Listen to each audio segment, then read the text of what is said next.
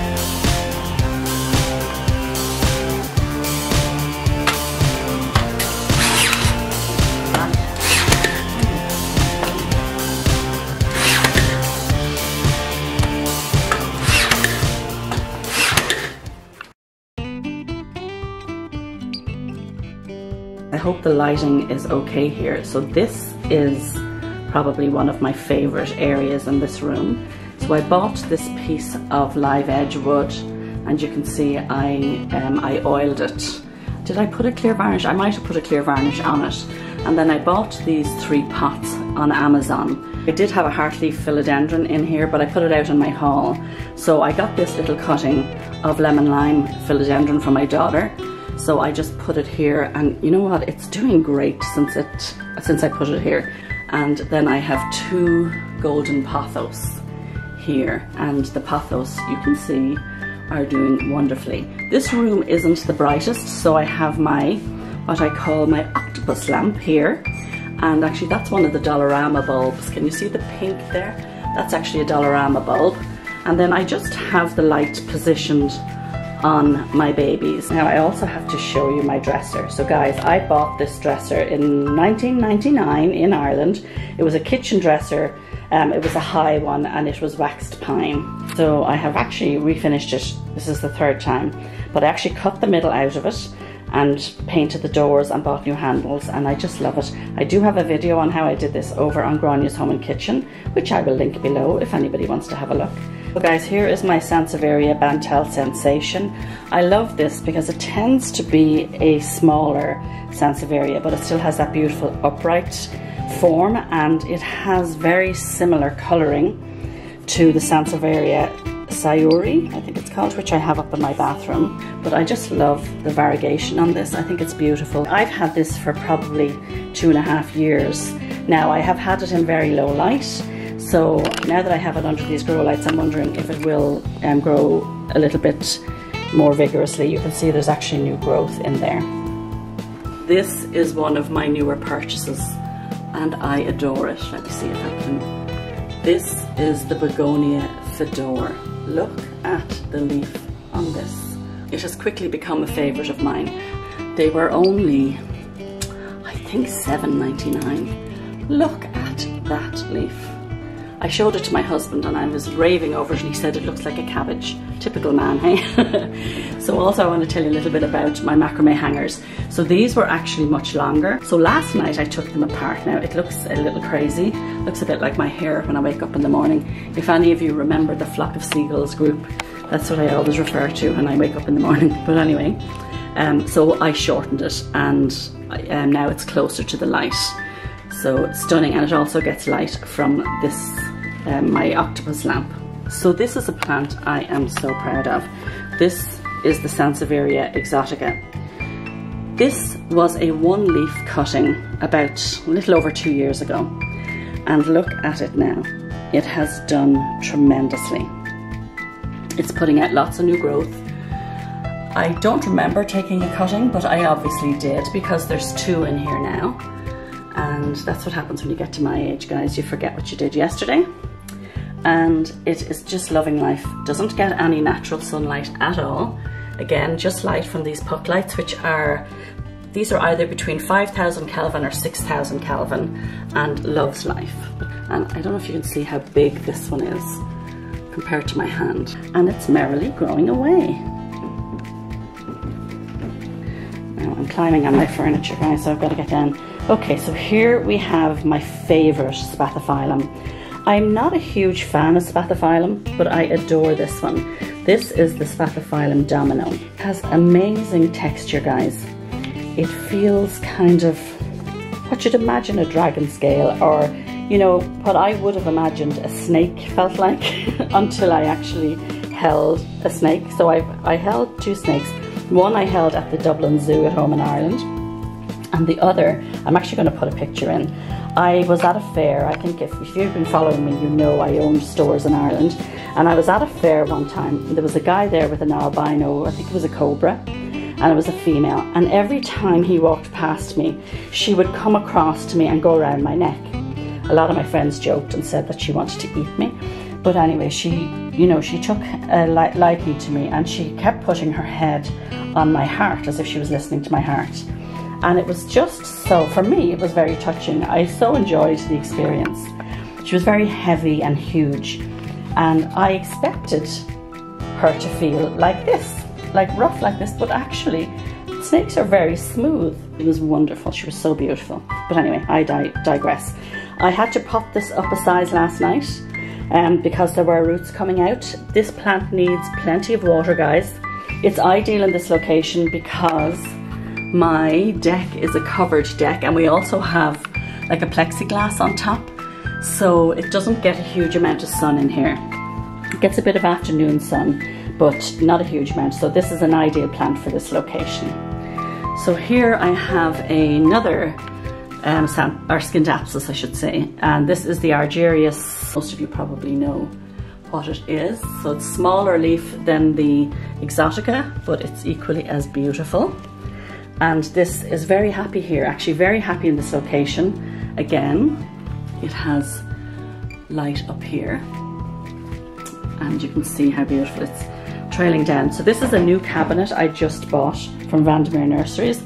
I think it may have been an old display cabinet but I'm absolutely delighted with it. I think it's gorgeous. So here is my ZZ Raven, guys. I've only had one shoot come out of this. I've had it for about a year, so I'm hoping I'm going to get something new this year. But it's very happy, doing beautifully, um, no issues. I love it. I just think it's such a gorgeous plant. And again, this is a low light area, so it's perfect. So guys, what I did was I put little lights underneath here. So again, these are, I think they're 5000 Kelvin puck lights that I ordered from Amazon. Here I have a Hoya Carnosa Princess. This was actually up there. You can see the macrame hanger is still there. And the only light it got was those two puck lights. So I decided I'd move it down here. But just to let you see how well it did up there. It had no issues. It didn't lose its variegation. Grew very nicely. So now I have moved it down here because I like it to trail maybe on this ca cabinet. This is an agave, guys. Did I plant? I must have planted it directly in there. Can't remember the name of it, but it is so cute. This was not expensive. I bought it in Vandermeer Nurseries and I absolutely love it. Look at this. I am so delighted with this little plant. It is a Peperomia pixie. Look at the variegation. Now, I'm not sure, is it a variegated or are they all like this? I do recall buying one of these before, but I don't remember this amazing variegation. Isn't that just stunning? And guys, I got it in Giant Tiger for I think it was $2.25. Here is another begonia. I've had this for years. I neglected it. It was in my powder room. I'd forget to water it. Um, and then I thought, you know what, I'm going to bring it out to my family room. And I actually took a, there was a little baby in there, I put it into my terrarium. And the one in my terrarium is literally flying. It's sending out so many leaves. But isn't it stunning? Let me see, can I turn it this way? So can you see that it's shiny? There's almost a metallic look to the leaf. It's just gorgeous. So it's I'm, it's a Rex begonia, but I'm just not sure which variety. And then there is this one here, which I just bought in Vandermeer Nurseries with my Fedor. I actually don't know the name of it, but I will look it up.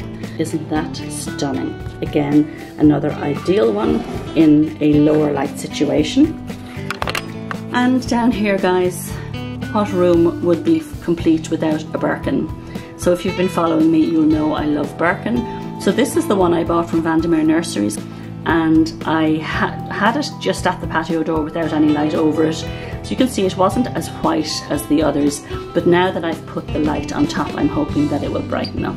So these are my Sansevieria, which have been sitting in this corner for well over a year and get literally no light, the poor baby. And I'm sure if I moved her to a brighter area, I would get a lot of growth. It hasn't really done anything since I put it here, but it hasn't died. I water this, if it gets a watering it once every two months, that's all it gets. But you know what, it's happy. It's not growing, but isn't it such a structural piece? It's so beautiful. Here is my parlour palm that I had out on my deck last summer. Now I did lose one. There were two fronds, I guess they're called, here and one of them did die. But um, I have a little bit of browning on here, but for the most part it's happy. As I say again, not a bright area, so I have this lamp here. And actually I put one Dollarama grow bulb in there and I have one 5000 Kelvin bulb in, bulb in there. And it just gives a nice subtle pink hue to this corner. And here are the little plant boxes that I made. I do have a video on my channel. So they are Dollarama cutting boards and this is a little Dollarama box that was lined with plastic. And I put it all together and I put in a philodendron Brazil. I've actually bought it from Valley View Nurseries, uh, gosh, I guess last year. And you know what, it wasn't the healthiest. I don't know what was going on with it. But it was in a big pot and I split it up. But it had struggled, but now I can see that it's starting to pick up in this planter here. I did have another cutting of it over in this one. However, that lost all its leaves. It didn't die, but it lost all its leaves, but I didn't want to, I just threw it out because I was afraid there was something cynical going on. So, but, but I had this other piece, which was also in the pot, that I just planted in here to replace that one. So you can see that one, the other one I just showed you is looking better, but I just put it in here and hopefully it will bounce back. And it's considering it doesn't get a lot of light, they're actually doing very well.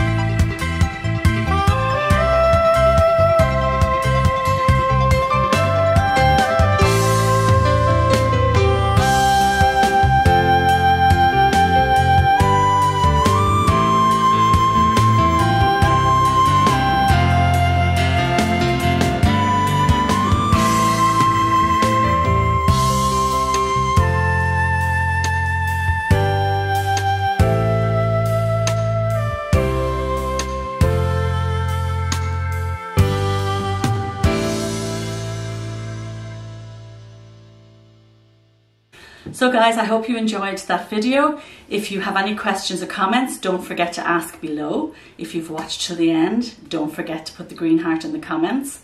If you wouldn't mind giving me a thumbs up, that would be amazing. And as always, guys, if you haven't already subscribed, I would really appreciate if you did. Okay, guys, you have a wonderful day and thank you so much for joining me. Take care.